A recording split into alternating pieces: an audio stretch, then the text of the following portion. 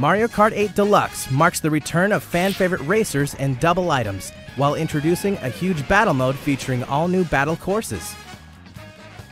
Plus, more characters, karts, and tracks unlocked from the start than any Mario Kart game in series history.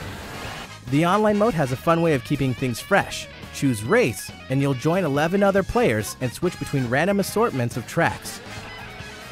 Choose Battle, and you'll even switch between modes like Good Old Balloon Battle or Renegade Roundup. So be ready for anything.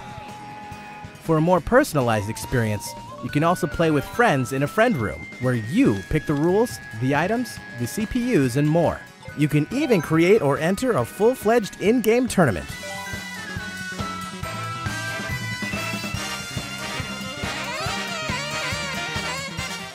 Get ready to leave your opponents eating your dust when Mario Kart 8 Deluxe launches on April 28th.